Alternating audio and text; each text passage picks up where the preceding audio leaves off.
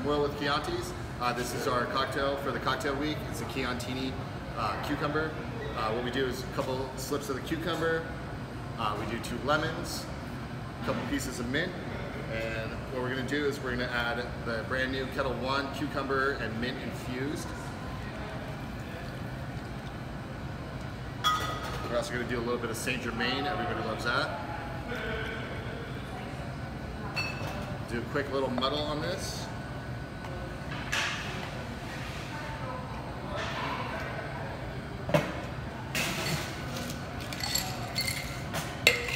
Quick little shake.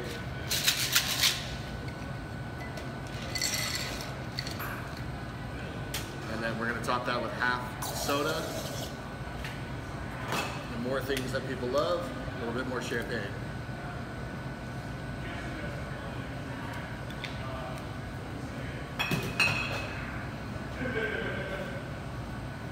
Quick little bit of sugar in there.